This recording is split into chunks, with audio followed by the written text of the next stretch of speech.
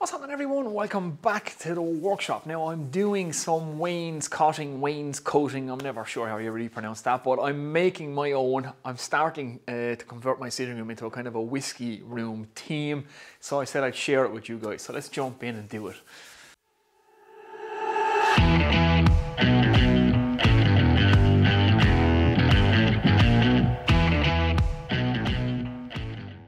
Okay, so like I said, we're going to do some wainscoting. Now, originally I hadn't intended on making this video because I'm doing up the sitting room in my house and I'm trying to get it done as quickly as I possibly can. And when you film something, it makes it 10 times longer.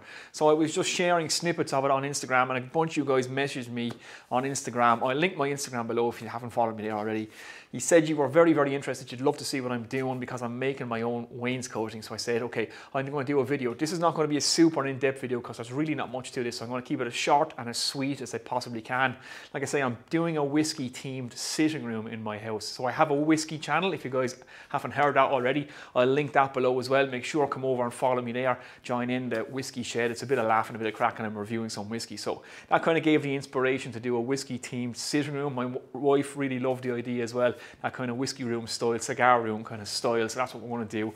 And we're going to do our own wainscoting. Now I priced a couple of wainscoting kits and the kits are made mostly what you'll buy online. They are made from this moisture resistant MDF. And just to do one of the larger walls in the sitting room was going to cost 500 euros for two packs. They were 250 euros a pack. And I said I can make my own for far less than that. So two sheets of this costs 50 euros. It's half inch um, moisture resistant MDF. I go through it now in a minute. I'll show you this that costs 50 euros, 25 euros a sheet, and that has done most of the walls in my sitting room. So one more sheet is all it's going to take to finish off the job. I have most of it done, so I'll show you guys what I've left to do, how to do it, how to make your own. It's very, very easy, very simple, and it's extremely cost effective, and it really isn't much work at all. So that's what this video is about. I'm going to, like I said, I'm going to keep it short and sweet. There's going to be plenty of whiskey room related projects coming up. So I'm going to make a live edge light fitting, a couple of nice lamps to go in the room. I want to make a new computer desk out of a live edge slab and my oak table that I've already built. If you've not seen that, make sure and check that out, the oak resin table. That's in the room and it's, it's going to be plenty of projects coming up. So I've talked enough, let's jump in. So this is what we're going to be using. Like I said, it's half inch um, moisture resistant MDF. And this is what all the kits that they sell online is made out of. And it takes no time at all to make your own. You can make this look like anything you want to make it look like. All you need really is a router, possibly a track saw. This track saw, it makes it so much easier to break this stuff down. It literally takes minutes to cut this out. You can even make this stuff look like the tongue and groove slats on the wall just by running a straight line with a V cutter on your router. And you can, like I say, you can make this stuff look like slats and it's nice and easy to paint. You can just stick it to the wall, a couple of brad nails and some adhesive and it's very, very quick, very, very cost effective. And like I say, this is what they make the kits out of anyway, that kits that you'll buy online. It is just this moisture resistant MDF and uh, like I say, you will cut this and break it down far cheaper than what you'll buy it for. So I'm doing the square grid pattern style, so it's the modern wainscoting style and then keeping nice straight clean edges. I'm not routing anything. You can if you want. I'll take you inside and show you what I've done now in a minute. But I'm going to break down these sheets. So I'm going to be using my track saw. This is my Bosch track saw that I got. It's a fantastic tool. It's a fantastic bit of kit and it's a really good investment. It makes breaking down sheets so much easier. It literally takes minutes and uh, you're not lifting and carrying sheets around. It's far quicker and far easier than doing it on a table saw. That's why I like it. You don't have to go with the Bosch one if your budget doesn't stretch that far. There's some nice and um, cheaper versions on the market. And for doing this kind of work, it's essential. So I'm doing a 100 mil uh, grid on the wall. The width of my pieces are 100 mil or just four inches. So I'm breaking down the sheet. So when you're breaking down the sheet and you want to divide it up into your various sections, just remember to allow for the kerf of your blade. So the width of that blade, every time you cut, you're taking that much material out of the board as you go along. So allow a little bit of waste on the end to account for all your uh, kerf cuts or the kerf of your blade the whole way along. So without further ado, I'm cutting four inch or 100 mil uh, strips of this. I have a bunch of them to cut, so let's just get on and do it. Okay, so I'm set up to make the cut there now. It really is takes seconds to set up a track saw. Just measure both ends. It's a perfect straight line and you're good to go. Now, using a track saw, a little bit of advice I give you, keep your cords out of your way because they're a real pain. They can get caught on the track and pull the track offline. So I've just an extension lead set up here and it keeps the cord off the track and then just watch your airline or your, your hose for your vacuum. Again, that can pull the track. But other than that, you're pretty much good to go. Now, working with MDF, always wear a respirator, always have a dust mask on because you do not want to be breathing this stuff in. It is not good for your lungs whatsoever. And uh, I'll have the air filter running behind me as well as I'm doing this, and I'll have it hooked up to a vacuum. So either do this outside with a respirator on you, or make sure you have a good vacuum and a good dust mask, and you're ready to go. So let's get on and break this sheet down. There's not much to this.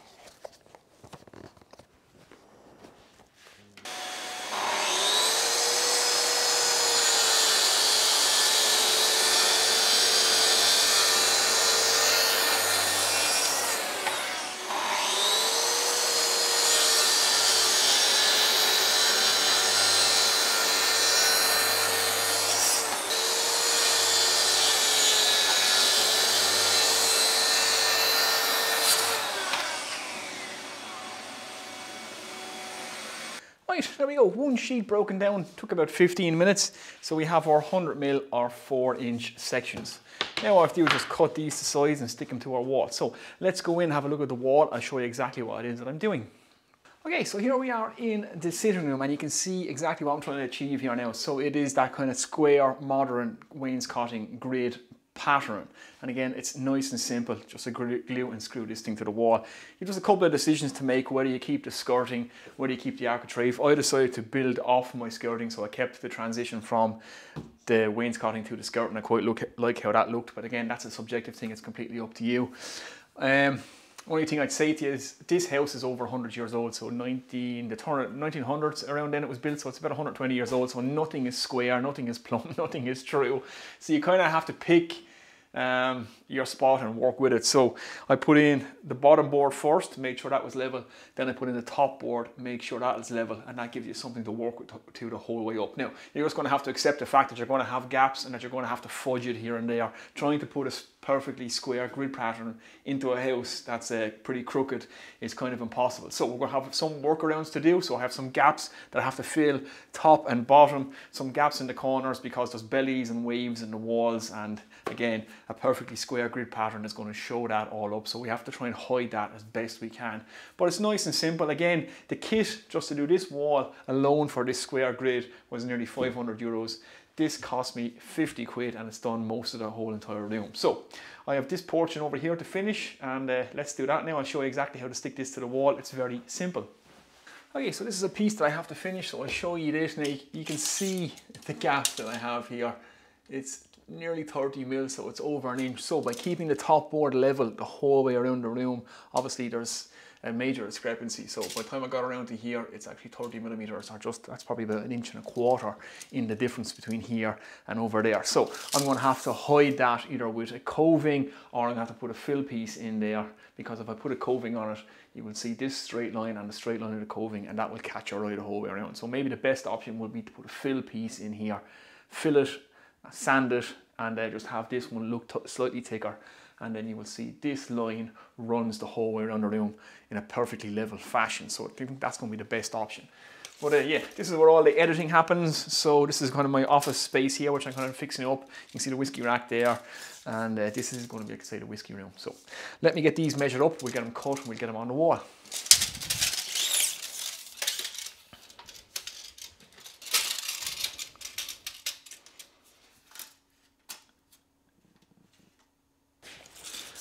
Okay, let's make a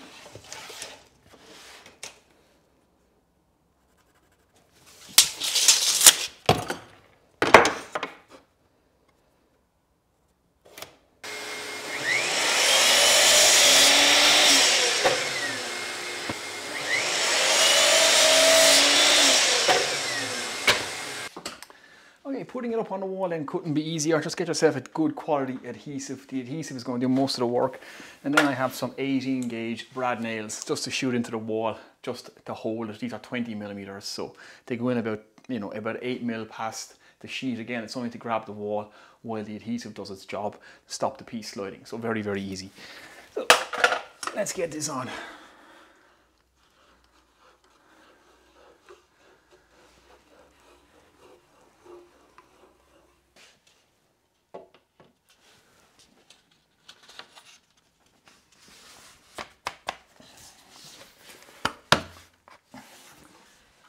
Obviously I can't go by the walls because none of my walls are level.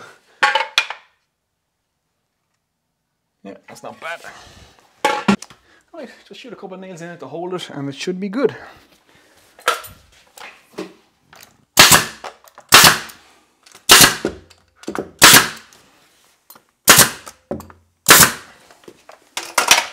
Pretty simple.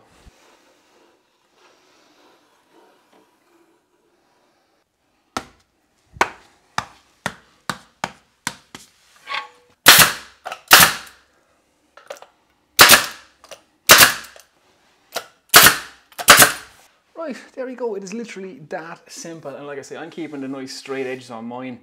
When this is all done, if you had a palm uh, router, you could just run that router around all your squares and put whatever style grid you want. So you could have a, like a chamfered edge, a round over edge, or a detailed edge. Just depends on the router bit. You could do that if you wanted. I'm keeping a nice clean edge. Everything will be filled and uh, sanded. So all the little uh, brad nail points, fill each one of them, sand them, and prepare all the things. I have gaps I'll have to fill between my walls. Obviously, I have perfectly straight edges, and my walls aren't perfectly straight again. They're 100 years old, so you wouldn't expect them to straight. So you have to just deal with some things like that. So we want to cut the cross pieces now, and we'll get them in, and that's this section already done. And one quick tip for any DIY new guys out there, always release the pressure on your caulking gun or your silicone gun, whatever you want to call it, because that will continue to squeeze adhesive out if you don't release the pressure. So when you're finished squeezing, always hit that, release the pressure, or you'll come back and you'll have adhesive all over your floor. And you certainly do not want that.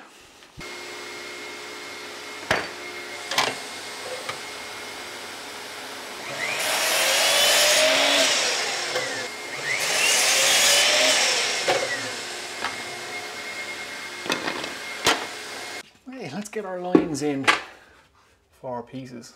Just want to make sure we get this nice and level. Let's get it level across. Go.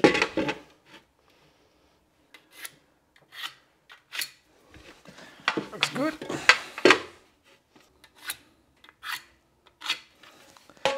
Happy days.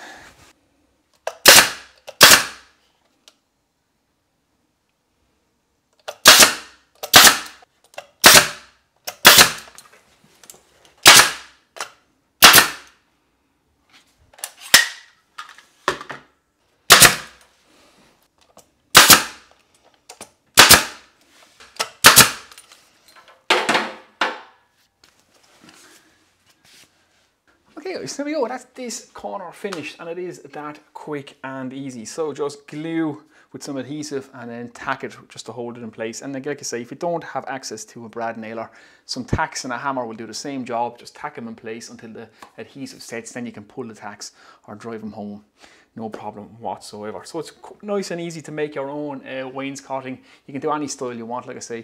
The more complicated, the bit more work you have to put into it just get at it with the router and you can do any style you want. I'm keeping it nice and straight, nice and simple, nice clean lines. That's the style that we're going for here. So I'm not going to continue it around this side of the wall because this is where my computer desk is going to go and I'm going to build in some nice uh, shelving and a whiskey area here.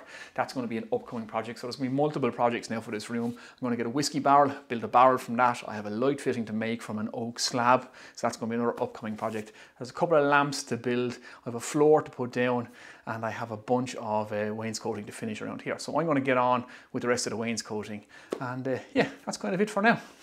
Right, actually before we finish it up, I just wanted to show you this wall. So I went ahead, did this. It was quite tricky. I had to make a few compromises here and there. It's all you can do in an old house like this when nothing is the same. So this door height and this door height aren't the same. This door and the window aren't the same height. I have angles to contend with there. So I broke it up as best I could. I think it actually looks quite nice. Um, again, compromising in the corner. I compromise over the door here, so I didn't put a piece across here the same way as I didn't over the opening that's there, just to mirror either side. I had to leave a gap here. There was nothing I could do, even though the gap is narrower here than down here, but the walls aren't running straight. The ceiling and the floor are, are meeting each other at that end and separating from each other at this end. So there wasn't much you can do. So again, everything can be a compromise with this type of thing. You can fudge it here and there, but I'm actually quite happy with that now. And when that's all painted and all the gaps are filled with some filler and uh, sealers and stuff, everything is sanded down, you won't notice it and the eye will be taken away from it. So you can see little things like that that you can do. And uh, yeah, that's that room. The wainscoting finished in here now, so it's paint prep next, all the sanding, all that stuff, but I'll do that. It's not really woodwork related, so uh, we leave that off and I get that done. But we've plenty of projects to do in this room that are woodwork related coming up. So there you go. The room is now done as wainscoting is concerned. Right guys, there we go. That was some DIY wainscoting, wainscoting, whatever it's called. It's been a hell of a long day and I'm quite tired now. And like I said at the start of the video, I didn't intend to actually make this video because I really wanted to get through that job. But some of you guys on Instagram messaged me and said you would be really interested in seeing what I was doing there. And that some of you guys are actually thinking about doing that in your own houses and you just wanted to see the process that I was doing. So that's what I was doing. It's a hell of a lot cheaper to do it this way. Buy some sheets of uh, moisture-proof MDF. It'll last forever on the walls. You can make any style, any shape. That's just a particular style that me and my wife decided to go with. We wanted a nice square, kind of modernish look and try and tie it into the old cottage. And again, when that's all painted and all the filling is done, you won't see the gaps or the cracks or anything like that. You can kind of hide it and fudge it all. And uh, yeah, it looks quite nice when it's done. So that's the whiskey room. I'm gonna put this into a playlist now called the whiskey room. So all the projects that are coming up that are involved in doing up that room will be in a playlist and I'll keep them in a separate playlist. So I'm going to get a whiskey barrel and make a bar out of it. I'm going to make a computer desk, live edge computer desk.